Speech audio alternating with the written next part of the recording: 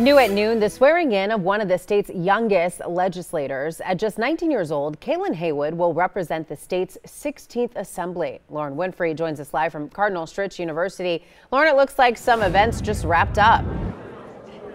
Yeah, at least things are just wrapping up. The program started at 10 o'clock this morning, and people are still celebrating Kalan Haywood. He is homegrown talent. He grew up on Milwaukee's east side. He's currently a sophomore here at Cardinal Stritch University, and he says he's ready to do the work as a newly elected official. Like anyone running for office, Haywood says he wanted to win, but it wasn't just for the sake of winning. He says his goal is to bring a new energy and innovative ideas in, into office while tackling core issues like education, mass mass incarceration and jobs. And at just eight years old, Haywood dreamed of running for office, and now, 11 years later, that dream has been realized and he's made history. What was that moment like when you found out you won? Um, it was super, super intense and emotional. Um, I mean, the whole team was just, it was, there were a lot of emotions that night too. Um, I think that night, I cried that night.